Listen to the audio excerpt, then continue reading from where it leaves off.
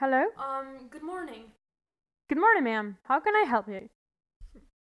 Let's try again. Hello? good morning. Good morning, ma'am. Is it a problem with your voice? How can I help you? Yo, welcome to another Unwrapping Sam video.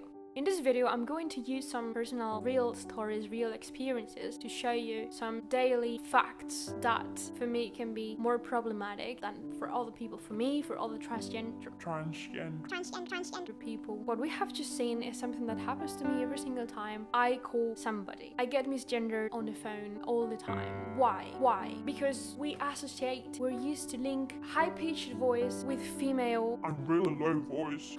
I wish with male. I'm a man, my voice is pretty high because I'm not on testosterone. I am not on hormones. You do not need to be on hormones, you do not need to take hormones to be trans. Why somebody would start hormone therapy or not is just their decision, it's our personal decision. It is not that you are trans, you need to take hormones, you need to go through surgery. There are a lot of assumptions related to trans people, and we're gonna talk about this in this video as well. So, yes, it is not that I am 12, it is just that I'm not on hormones at the moment. The reason why I'm not doing it is completely mine. You are trans because you're born trans. You do not need to be on hormones to be valid as trans. I have heard a lot of times this question. Oh, so you're trans. Are you taking hormones? That is a really personal question. If you are my close friend, you know. If you're not, then do not ask. This brings to my head another topic that I often think about. It's just myself.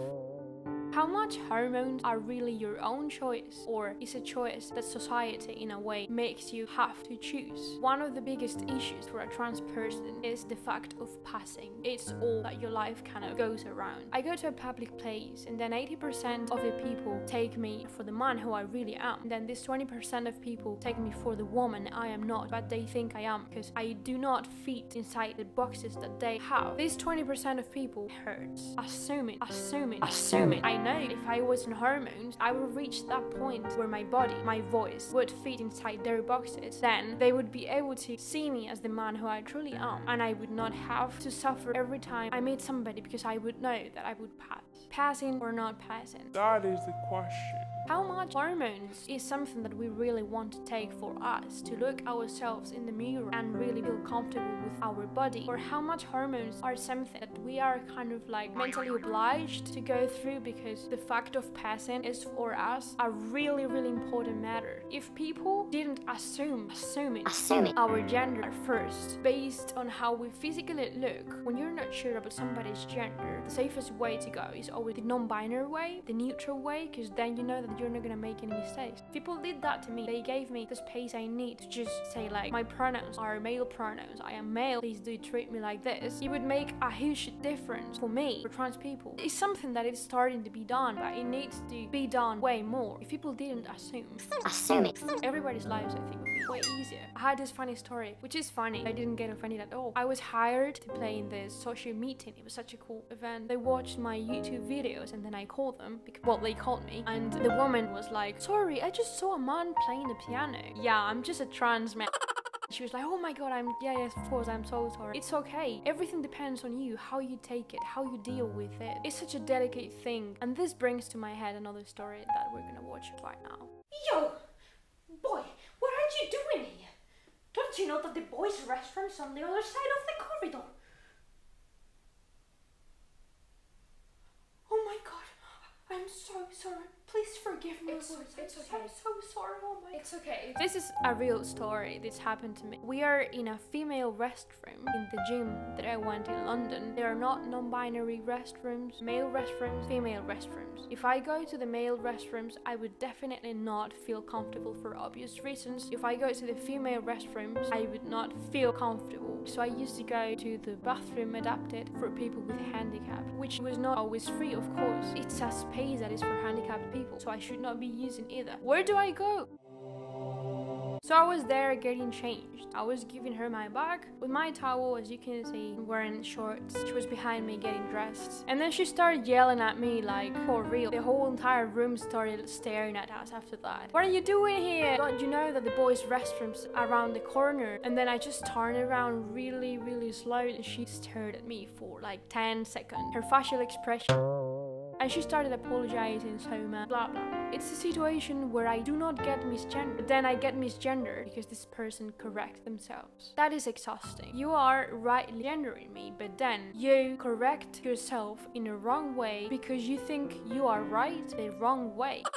It's constant stress. When you meet somebody new, when you have an interaction with somebody that does not know you, they are judging you consciously or unconsciously to put you in a place where they can function so you are not something unknown anymore. If they see me as the man who I really am, I am afraid that they find out that I'm not the kind of man that they will call a man, or I'm not the kind of man that they will use the male pronouns with. For example, this woman did exactly what I'm most afraid of. That hurts, that's pretty exhausting. I take it depending on the day. It's usually pretty tiring. This happened to me with this woman. I had to give a lot of explanations and then I fell on the spot a lot in a way that is not nice. I also had another story in the same restroom when a little boy came in and he pointed and he was like, Why is a boy in the female restrooms? And I almost answered, Dude, you're a boy too and you are in the female restrooms. He was like, Or you always put on this spot. You're always scared of how things can turn out. Always feeling that you're not in the right place. This brings to my head another story that happened to me a few days ago. I was having lunch with my family. The owner went out. I was eating then and he started talking to me. You, the boy, you should meet my granddaughter. She's in the kitchen washing dishes. She's very pretty. I'm sure you will like her. And I was there eating. I didn't say anything. I kind of like smiled. So immediately my brain started warning me.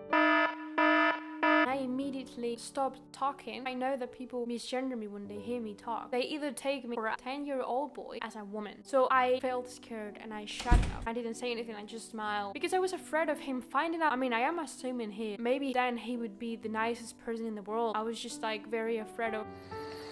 It is hard. Some people are not nice. You never know when, so you always have to be careful. It was funny what happened. It wasn't funny for me. I was like, he's gonna find out. He's gonna find out. He's gonna find out. Meeting new people is a bit tricky. We have seen this episode with the woman in the restrooms, real episode. This brings to my head another story. Let's watch it. Yo, ladies' toilets are on the other side. Sorry, mister.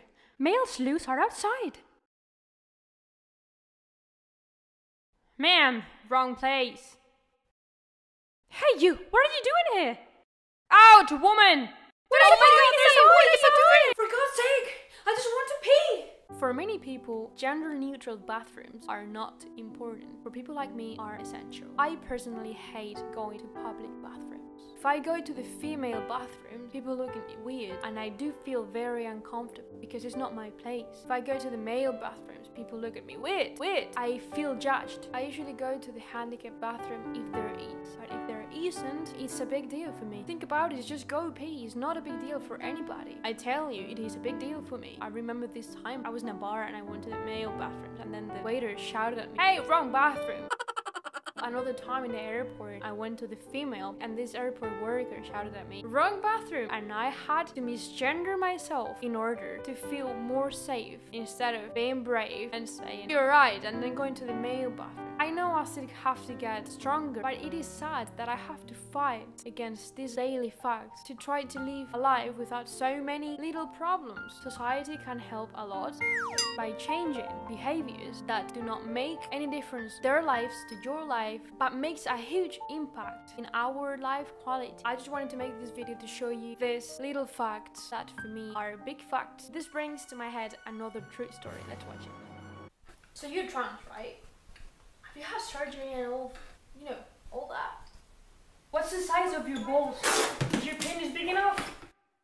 If I don't ask you about your genitals, why would you ask me about mine? Trans people are not supposed to be in hormones just for the fact that they are trans. Asking about our body facts is really morbid. And I have had this a lot of times. Like, have you had surgery yet? This honestly, just think about it for a second. Go and ask, those boobs are yours or did you get an operation? Did you put them like big? Are they natural? Hey, do you shave your... Do you have the period? Why do you even care? It's my business and my partner's business. I don't mean to sound rude. We are much more than people that go on hormones and get surgery to be happy. You can be happy without all of that. Some people can't and they do that and it's just their business. I hope I've made you laugh along this video and I hope you can get the point of this video that is just show you some reality that you're probably not used to see. Thank you very much for watching. My arm, if you're wondering about it, my arms is better. I'm going to have physiotherapy now for a while. I'm starting to play the piano a little bit, slowly getting better.